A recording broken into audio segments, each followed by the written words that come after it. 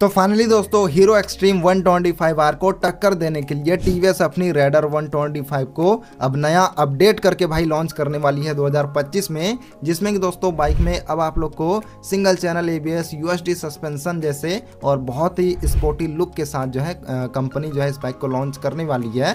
जिसके बारे में भाई आज की इस वीडियो पर मैं आपको बताऊँगा कि रेडर वन का जो दो हज़ार पच्चीस मॉडल आने वाला है, इसमें दोस्तों कंपनी क्या कुछ अपडेट क्या कुछ चेंजेस करने वाली है, उन सभी चीज़ों के बारे में आज की इस वीडियो पे हम लोग बात करेंगे तो चलिए वीडियो को स्टार्ट करते हैं। अगर आप लोग चैनल पे पहली बार आए हैं तो चैनल को सब्सक्राइब भी कर दीजिएगा।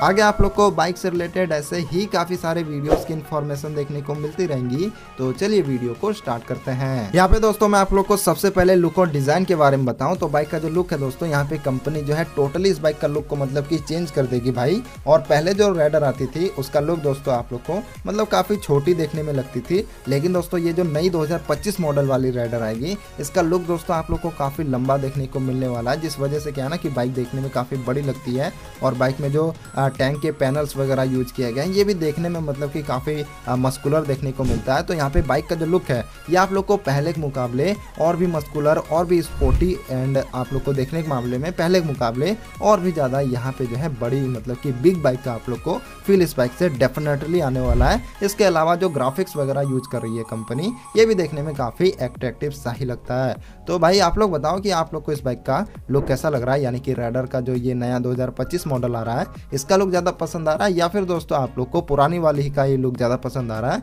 नीचे कॉमेंट बॉक्स पे अपना ओपिनियन ज़रूर लिखिएगा। अब यहाँ पे दोस्तों फीचर्स में क्या कुछ अपडेट किए गए हैं, उसके बारे में अगर मैं आप लोग को बताऊँ तो सबसे पहले तो आप लोग यहाँ पे फ्रंट पे देख ही सकते हैं कि अब आप लोग को इसमें गोल्डन यूएसडी सस्पेंशन दिया जा रहा है। बाकी रेयर पे आप लोग को पहले तरह ही मोनोसॉक सस्पेंशन देखने को मिलते हैं। इसके अलावा दोस्तों बाइक में अब आप लोग को जो है ना सिंगल चैनल एबीएस भी दिया जा रहा है, जो कि बाइक की जो ब्रेकिंग है, वो तो काफ़ी बढ़िया हो ही जाएगी। इसके अलावा दोस्तों, बाइक की सेफ्टी भी काफ़ी इंप्रूव यहाँ पे रहने वाली है, अगर इस बाइक में आप लोग को सिंगल चैनल एबीएस देखने को मिल जाता है तो। इसके अलावा दोस्तों, बाइक में आप लोग को पहले तरह ही एलईडी लाइटिंग सेटअप देखने को मिलेगा। इसके अलावा दोस्तों, बाइक में जो है, अब आप लोग को नया डिजिटल मीटर कंसोल दिया जाएगा, जिसमें दोस्तों आप लोग को पहले के मुकाबले ज़्यादा इन्फॉर्मेशन भी दी जाएगी, और बाइक में आप लोग को ब्लूटूथ कनेक्टिविटी और टर्न बाय टर्न नेविगेशन तो मिलेगा ही।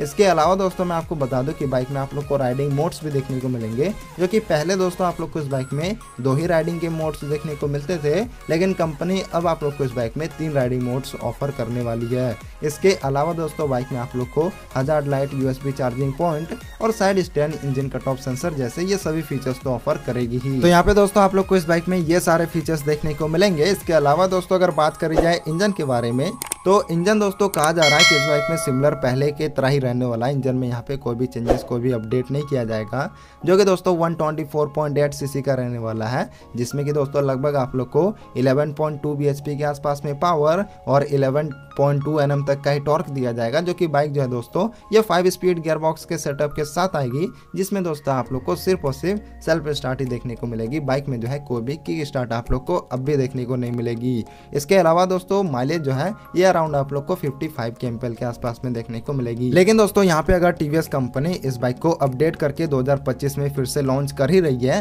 तो यहाँ पे दोस्तों कंपनी को इस बाइक में किक स्टार्ट भी दे देना चाहिए, क्योंकि दोस्तों किक स्टार्ट एक बहुत ही बड़ा रीजन बन जाता है। मतलब की बहुत सारे लोग ऐसे भी होते हैं कि किक स्टार्ट की वजह से रेडर को नहीं लेते हैं। तो यहाँ पे कंपनी को इस बाइक में किक स्टार्ट दे देना चाहिए। अगर कंपनी इस बाइक में किक स्टार्ट देती है तो इस बाइक की सेल्स मतलब की पहले से और भी बढ़ जाएगी। इसके अलावा दोस्तों, अगर बात करी जाए प्राइसिंग के बारे में तो प्राइस तो दोस्तों पहले के मुकाबले लगभग जो है दस हज़ार रुपये तक बढ़ेगी, क्योंकि लगभग इसमें आप लोग को गोल्डन यूएसटी सस्पेंशन और सिंगल चैनल ईवीएस जैसे काफ़ी सारे फीचर्स यहाँ पे आप लोग को देखने को मिलेगा। तो मतलब बाइक की जो प्राइस है, ये अराउंड आप लोग को पहले से दस हज़ार रुपये महँगा देखने को मिलेगा। तो अराउंड आप लोग को एक लाख पैंतीस से चालीस हज़ार के आसपास में ऑन रोड देखने को मिलने वाला है। बाकी लॉन्च के बारे में बात करी जाए तो इस बाइक को दोस्तों 2025 के सेकंड क्वार्टर तक टीवीएस कंपनी हमारे इंडियन टू व्हीलर मार्केट पे लॉन्च कर सकती है। तो अब आपका क्या ओपिनियन है दोस्तों इस बाइक को लेकर? नीचे कॉमेंट बॉक्स पे अपना ओपिनियन ज़रूर लिखिएगा और इस वीडियो को भी दोस्तों अब हम लोग फ़िलहाल एंड करते हैं। तो आई होप आप लोग को ये जो वीडियो है, ये आप लोग को पसंद आया होगा। अगर वीडियो पसंद आया है तो वीडियो को लाइक कर दीजिएगा और चैनल पे अगर आप लोग पहली बार आए हैं तो चैनल को सब्सक्राइब भी कर दीजिएगा। तो इस वीडियो में दोस्तों फ़िलहाल इतना ही है। मिलते हैं अगले वीडियो में। तब तक के लिए जय हिंद, वंदे मातरम एंड ऑल्सो राइड से